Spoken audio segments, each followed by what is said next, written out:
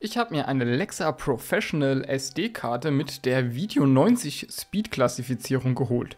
Warum das ein kleiner Fehlkauf war und wie ihr solche Fehlkäufe verhindern könnt, das erzähle ich euch nach dem Intro. Ich wollte mir für meine neue Kamera, die GH5 Mark II, eine passende SD-Karte kaufen. Wie geht man also nun logischerweise vor, wenn man sich die passende SD-Karte kaufen will? Am besten ist natürlich, wenn der Hersteller einem da schon mal einen Hinweis gibt, was denn die passende SD-Karte wäre. Und da habe ich auch tatsächlich auf der Webseite von Panasonic geschaut. Dort gibt es eine Seite mit Spezifikationen, speziell für meine Kamera. Und hier finde ich dann die Information, dass bei den Aufzeichnungsmedien V90 als kompatibel gelistet ist. Also die Speedklasse 90 steht hier oder Videospeedklasse. Das ist V90. Ich werde jetzt nicht so genau auf diese Speedklassen eingehen, da gibt es wunderbare Tabellen bei Wikipedia, verlinke ich euch natürlich gerne. Dort gibt es dann auch diese verschiedenen anderen Klassen, aber wir schauen uns jetzt hier die V-Spezifizierungen an. Und hier steht eben, dass V90 geeignet wäre. Ich habe auch ein bisschen rumgelesen bei Reddit und anderen Foren und dort habe ich dann öfters Nutzer gelesen, die geschrieben haben, naja, ich habe eine V90-Karte und die hat mich noch nie im Stich gelassen. Gut, habe ich mir gedacht, dann wird das wohl die richtige sein. Der Hersteller sagt es, die Nutzer sagen es, also kaufe ich mir eine V90. Und die kostet aber signifikant mehr als ja eine normale SanDisk Ultra Karte zum Beispiel. Die hat, glaube ich, gar keine V-Zertifizierung bzw. V10. Das sind dann 10 Megabyte pro Sekunde, die die schreiben kann. V90 bedeutet 90 Megabyte pro Sekunde, die geschrieben werden können.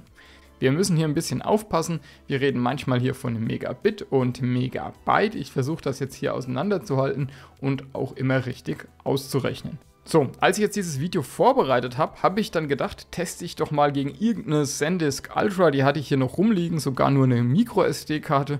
Die habe ich dann mit Adapter einfach eingesteckt und mal angefangen aufzunehmen.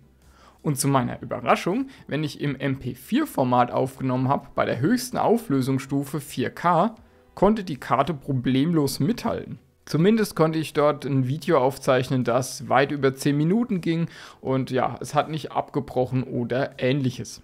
Das hat bei mir ein bisschen Kopfkratzen verursacht, da ich ja dachte, diese 4K-Videoaufnahmen würden diese ja, random SD-Karten, die man einfach so rumfliegen hat, gar nicht funktionieren. Also bin ich nochmal auf die Seite mit den Spezifikationen gegangen und wenn man da ein bisschen runterscrollt, dann findet man eben verschiedene Angaben zu den Videoformaten.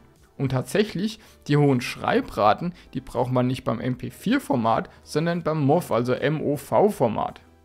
Und auch nur dann in ganz bestimmten Konstellationen. Das höchste, was ich jetzt hier finden konnte, sind 400 Mbit pro Sekunde gewesen.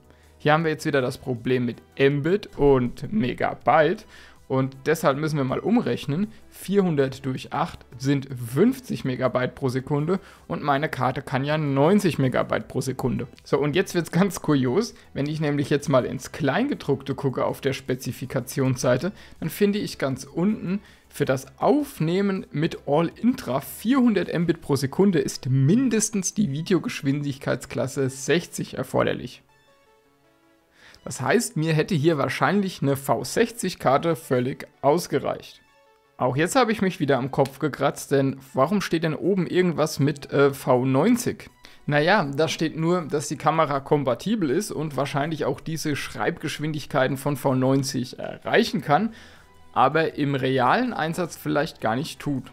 Jetzt gibt es ja noch eine andere Disziplin bei Kameras neben dem Video, wo man eine hohe Schreibgeschwindigkeit bei der SD-Karte braucht und das ist die Serienbildaufnahme, weil hier in schneller Folge einfach hochauflösende Bilder geschossen werden und die werden dann runtergeschrieben, entweder im internen Speicher oder auf die SD-Karte.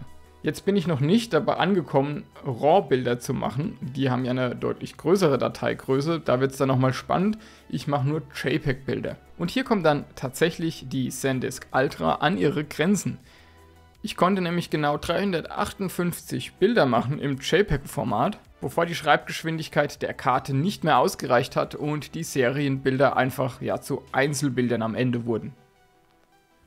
Bei der Lexa kam ich da nie an diese Begrenzung und wenn ich mir jetzt noch vorstelle, dass ich gleichzeitig ein RAW-Bild abspeichere und vielleicht noch JPEG-Bilder mache, die mehr Megabytes haben, denn ich habe hier ein relativ simples Motiv gewählt und die Kamera konnte das Ganze auf 5 Megabyte runterkomprimieren. Wenn es mehr Farben im Bild gibt, ist die Dateigröße auch größer, also das ist immer so ein bisschen situationsabhängig, wie groß die Dateigröße tatsächlich ist. Aber hier kann man dann doch schon einen Unterschied zwischen einer V90 und einer V10-Karte auf jeden Fall sehen. Auch die Videoformate, die ich jetzt vorhin vorgelesen habe, kann ich natürlich nicht mit der SanDisk Ultra aufnehmen. Da kommt nach wenigen Sekunden die Fehlermeldung am Display, dass das Video damit gar nicht aufgenommen werden kann, weil die Schreibgeschwindigkeit der SD-Karte viel zu gering ist. Jetzt wollte ich euch ja verraten, wie könnt ihr die Fehler vermeiden, die falsche Karte zu kaufen. Ja, blöder Tipp, aber man muss ins Kleingedruckte schauen. Also bei Lumix zum Beispiel bekommt man ja eine Liste, welche Geschwindigkeiten tatsächlich gebraucht werden und man muss sich halt überlegen, was man mit der Kamera machen will. Auf der anderen Seite möchte ich die Funktionalitäten meiner Kamera natürlich nicht durch eine falsche SD-Karte limitieren. Gerade wenn man zum Beispiel RAW-Fotografie macht, dann ist eine schnellere Karte auf jeden Fall zu empfehlen. Was ich jetzt auch noch ein bisschen verschwiegen habe, bei der Serienbildaufnahme konnte ich zwar 358 Bilder hintereinander schießen, allerdings hat dann die Karte Minuten gebraucht, um die Bilder wegzuschreiben denn die hat einen internen Speicher, die Kamera, und von dem aus geht es dann auf die SD. Das heißt, ich mache also ein Bild, das Bild wird erstmal im internen Speicher abgelegt und so schnell wie möglich auf die SD geschrieben. Das heißt, unabhängig von der Geschwindigkeit der SD kann ich erstmal eine ganze Menge Bilder machen und danach wird das Ganze dann runtergeschrieben. Und dieses Runterschreiben hat minutenlang gedauert. Also diese 358 Dateien, die haben bei mir 1,9 GB gehabt. Das hat ziemlich lange an der Kamera gedauert und die Kamera ist dann blockiert für manche Funktionen in der Zeit, wo sie eben auf die SD-Karte schreibt. Bei der Lexa-Karte war das Schreiben in dem Moment beendet, wo ich quasi den Finger vom Abzug genommen habe und ich konnte die Kamera direkt weiterverwenden. Jetzt kommen wir zu einem weiteren Punkt, den man vielleicht beachten muss. Diese Schreib- und Lesegeschwindigkeiten, die klingen erstmal interessant. Und das wäre ja zum Beispiel dann auch ganz praktisch, wenn ich die mit der Geschwindigkeit am PC kopieren kann von der Karte runter. Da muss man aber beachten, dann bräuchte man einen speziellen UHS-2 Kartenleser.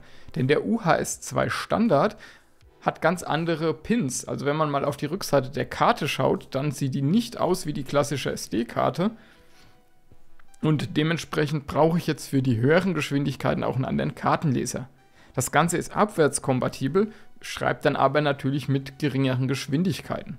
Eine andere Möglichkeit wäre, die Kamera als Kartenleser zu benutzen. Meine GH5 M2 hat einen USB-C-Anschluss und könnte dementsprechend ja auch relativ schnell das Ganze kopieren.